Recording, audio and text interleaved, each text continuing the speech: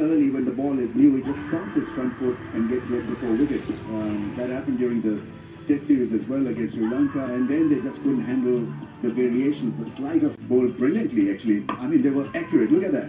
I mean, it was the straighter line that got the better of uh, the He had no clue about that ball, and in the end, leg before wicket was uh, was the last man.